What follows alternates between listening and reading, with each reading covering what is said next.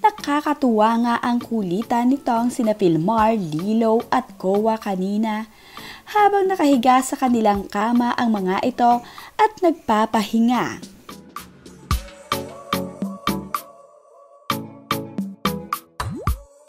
Muli na naman ngang nagfilter itong si Pilmar ng pusa look. Hindi naman nga nagpatalo itong si Kowa sa kanyang ate Lilo kapag natatapat sa kanya ang pagiging pusa. Nagmimiyaw-miyaw nga din itong si Kowa at hindi nga nagpapatalo sa kanyang ate. Tuwang-tuwa naman nga itong si Lilo at Pilmar sa kanilang ginagawa. Napaka-cute ngang makita ng mag-aama na nagkukulitan.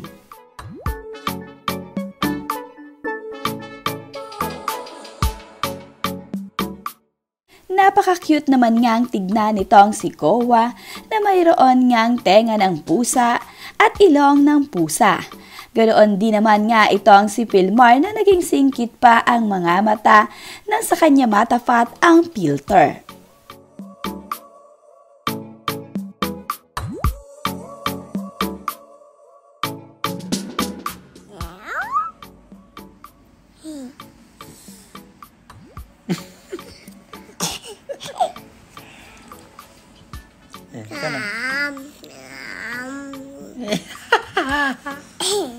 Again, again. Go again. Na. Ate. Meow. Meow. Meow.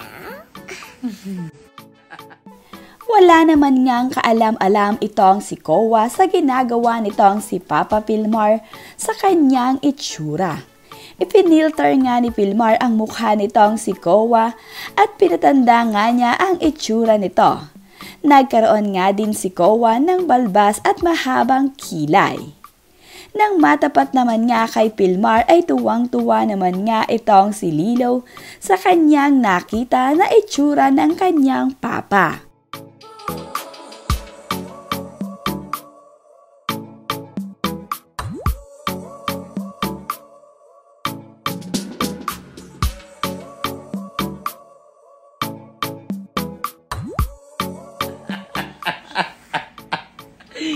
My. Spaces. Papa. Papa. Apa papa ulit. Papa. Papa. wait, wait, wait. Papa. Go first.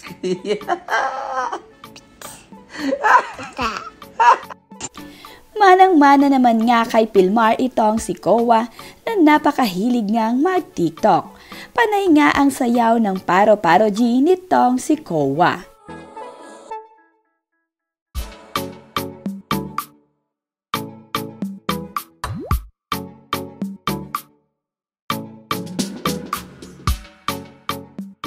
Ang alagang aso naman nitong si Pilmar na si Oatmeal ay malaki na nga. Ayon nga kay Filmar ay 11 months old na itong si Oatmeal. Mahal na mahal din itong sina Pilmar ang kanilang alagang aso kaya naman asikasong asikaso din nila ito.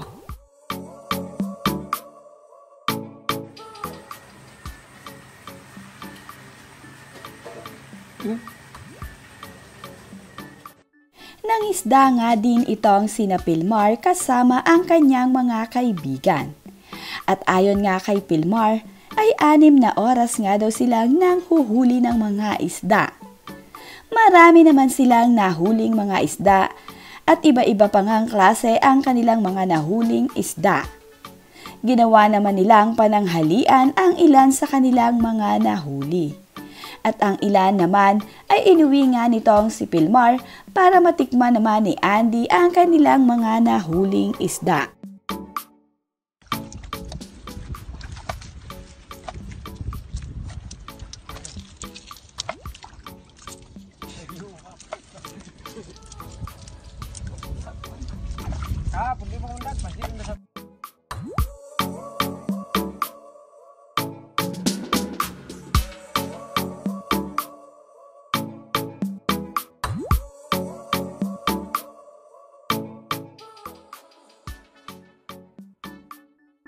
Napakasarap nga ng kain na magkakaibigan at boodle fight nga sila palagi. Kanya-kanya nga silang kuha ng pagkain na kanilang kakainin.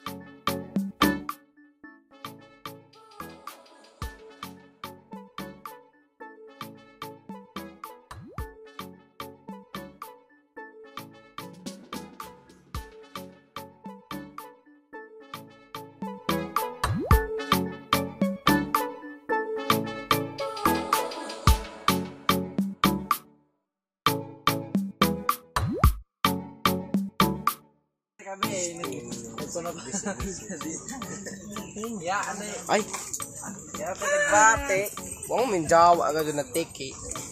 Di ano ako dong? Sige na. Balik pag-eehersisyo ngang muli itong si Pilmar. Maaga pa nga lamang ay nagsimula na nga itong magbike upang makapag-ehersisyo.